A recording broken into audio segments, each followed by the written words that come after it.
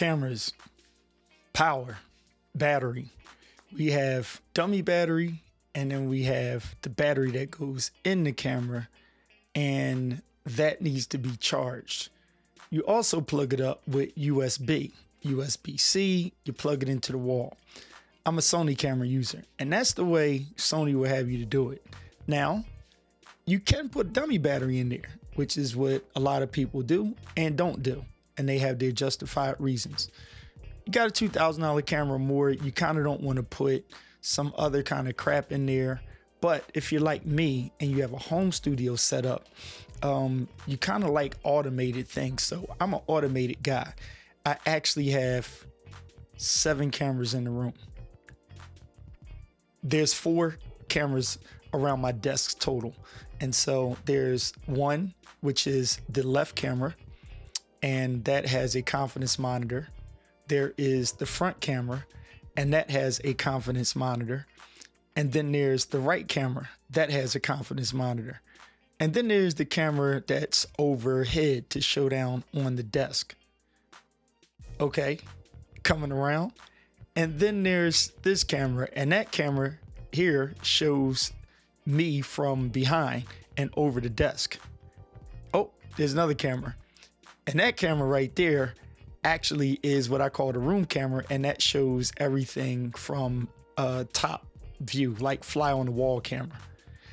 And then there's um, this camera right here that I'm talking. Oh, wait a minute, hold up so you can see it.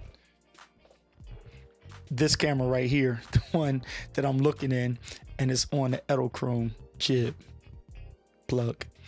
Anyway, with all of those cameras, um, the three that are in the air, the one over the desk, the one over here on the wall, and the one up there, the room shot, which it would be this camera right here.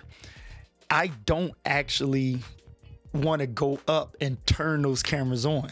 And so if you use a dummy battery, you actually can power on, oh, sorry.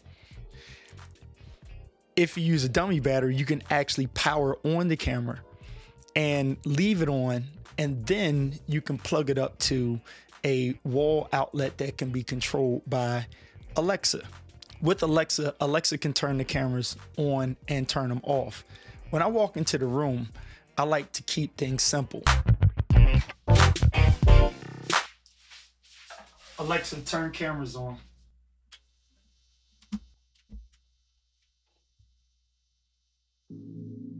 Basically, what you saw there is that I have the cameras automated and they're also going with my lights so that when I know I'm about to go live, I can just tell Alexa to turn the cameras on and she will turn all of the cameras on at the same time because they are dummy battery powered. Alexa, turn cameras on.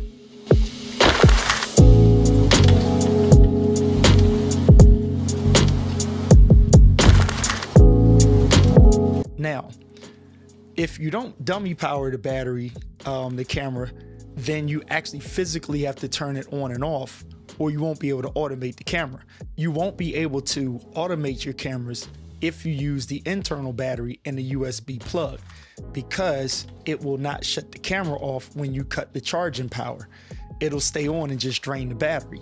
But if you automate it like me, then you put a dummy battery in there and then when you tell alexa to turn everything off she will turn it off and your cameras are off.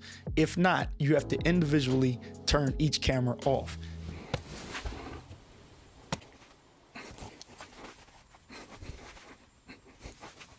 This is where it gets a little tricky. The camera on my desk this camera right here i used to just plug that up usb because i used to take it in the field with me a lot and because I was taking in the field, um, I didn't want to have to keep taking the battery out and putting the battery back in. So basically, what I did was I also put a dummy battery in that one as well. So now when I come in, everything turns on at the same time. This is an advantage and it's a disadvantage. But I've been successful with dummy batteries since day one. Now, for my full frame cameras, um, I actually don't use them in the studio. And so they never, I never actually have to put the dummy batteries in there unless I'm using a Cine rig and I power it up that way. Or one of my Cine rigs, I use the USB port with the battery plugged in there anyway. That's just the pros and cons. So you have to make the choice for how you have to make the choice. I will have to say, this rig right here that I'm using, I actually have Kondor Blue dummy battery, um, and it's a DTAP that rolls right into this whole rig so that I can just hit one V mount battery, turn it on, and everything powers up. So that is an advantage where, you know, the battery stuck in there, it won't work. Again, you have to do what's best for you. And that's just my little simple take on the difference between using a battery inside of the camera with the USB and also flipping to a dummy powered. With the dummy powered, you set it and forget it. If the camera is behind something away from you, behind a teleprompter, you might not want to keep reaching back and cutting it on and off. And then you might not want to deal with running it and then the battery kind of drains along with the power and then, you know, it kind of overheats and stuff like that with the dummy battery in there, it doesn't generate the same amount of heat because the battery inside is not charging. And that's just something where for streamers, it might be a problem. Now, if your camera's on the go, like I was using my ZV-E10 uh, for a while before I got into full frames, I would just put the regular battery in there, charge it USB. I would use it to stream an hour or two at max and then I could just take it off and go out. But since I don't need that camera to go out, I just put a dummy battery in there and it's straight powered by the wall. There it is. So you have it. So any questions on the advantages, disadvantages of dummy battery power or putting the battery in there and charging it USB, uh, be sure to hit me in the comment section down below and I'll be glad to get back to you with any questions that I may answer or any take on it. I am safe using dummy batteries. Some people, they don't really trust it, but this is just my take. And this is how I automate these cameras in this studio. All right. Thank you for watching. Peace.